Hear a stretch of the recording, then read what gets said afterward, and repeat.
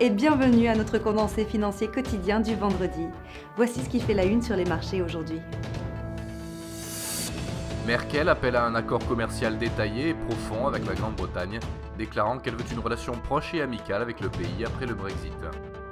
La paire euro-dollar a rebondi avec des gains sur la session de mercredi, après une semaine extrêmement volatile suite à la hausse des taux par la Fed.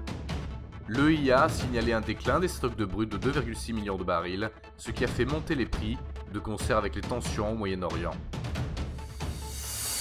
La paire livre-dollar a perdu 0,2% sur la dernière session, le SSI montre un ratio vendeur-acheteur de 1,3.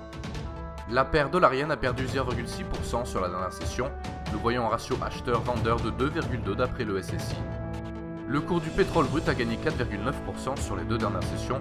Le SSI montre un ratio vendeur-acheteur de 1,1. Le cours de l'or a rebondi à la hausse sur la dernière session, gagnant 1,7%. Le SSI montre un ratio acheteur-vendeur de 2. Les ventes au détail au Canada à 12h30 GMT, les commandes de biens durables aux États-Unis à 12h30 GMT et les ventes de logements neufs aux États-Unis à 15h GMT. Le discours de Bostik du FOMC aura lieu à 12h10 GMT, le CPI du Canada à 12h30 GMT, le nombre Baker Hughes de forage de pétrole aux États-Unis à 17h GMT. Nous espérons que vous avez apprécié nos perspectives marché de ce vendredi. Nous vous souhaitons de la part de toute l'équipe une journée productive sur les marchés.